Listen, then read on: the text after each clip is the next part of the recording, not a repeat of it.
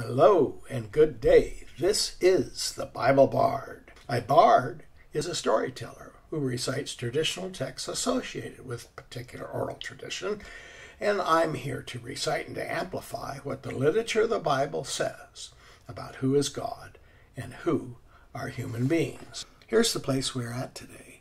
For people who disbelieve the supernatural, the healings the New Testament describes that Jesus performed are just mistaken conclusions of witnesses to events, or at worst, simply lies in a conspiracy to try and elevate Jesus politically and religiously.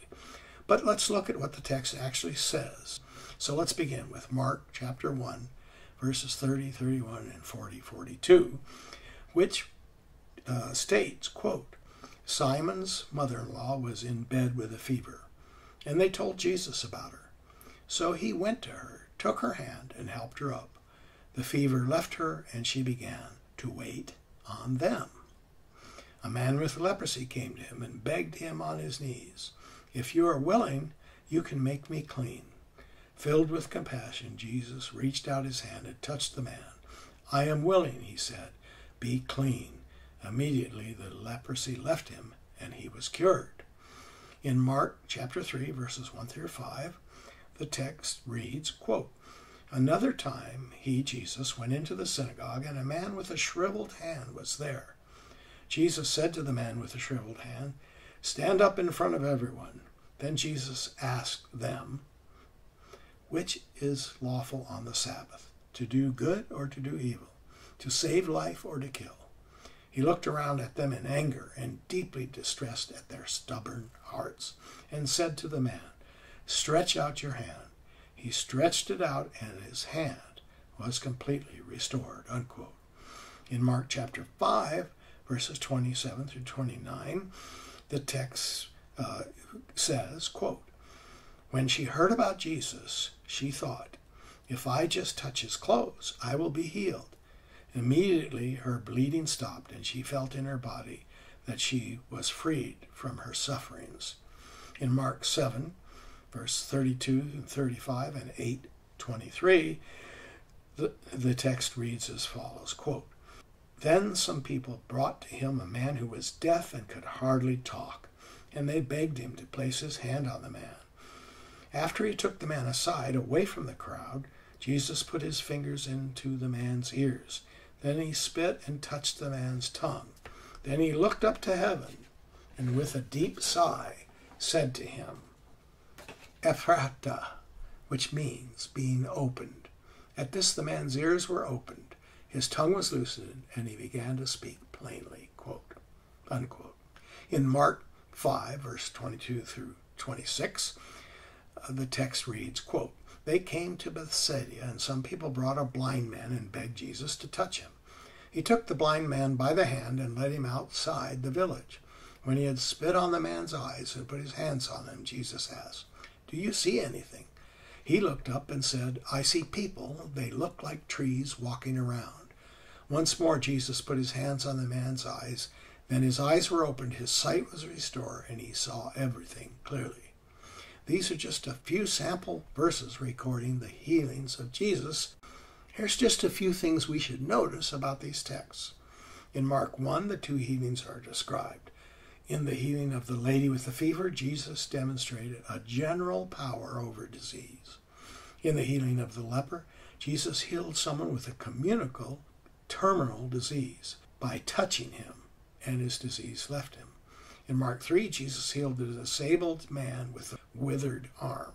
In Mark 5, Jesus demonstrated he has power over disease about which, as a human being, he has no conscious knowledge. The woman with the issue of blood touches him from behind without his knowledge and is healed. In Mark chapter 7, Jesus heals a deaf mute whose deafness has a genetic origin. He does this again in Mark 8, healing the blind man. None of these genetic preconditions prevent Jesus from acting. Is it likely that the writer of Mark's gospel understood and selected instances in these categories of illness that cover everything from a general healing, the healing of a communicable terminal disease, healing without personal conscious knowledge of the sick person, and finally the healing of genetic diseases that are only understood as categories of illness in modern times, the text surprises us, providing categories of healing that span all illness types. It would be surprising if a first century person could make up such comprehensive fictions. But if Mark wrote down what he saw or was told by witnesses what Jesus did, it is interesting that the text has this kind of unmanufactured internal validity. Of course, the Bible Bard doesn't like arguments from silence or other kinds of rationalizations to prove a point. Instead, we argue from the text itself. These biblical descriptions of supernatural events, including healings, are what they are. The text states that Jesus' power over physical disease is provided as an accreditation from God his Son. In Acts 2, verse 22, Peter says to the Jews, quote, Men of Israel, listen to this. Jesus of Nazareth was a man accredited by God to you by miracles, wonders, and signs, which God did among you through him, as you yourself know. Unquote. The idea that these miracles were intended to validate Jesus' relationship to God is important. In addition to healings, the gospel stories provide descriptions of Jesus having power over nature, power to transform or transmute the elements, even power to raise the dead, whom sickness had already taken.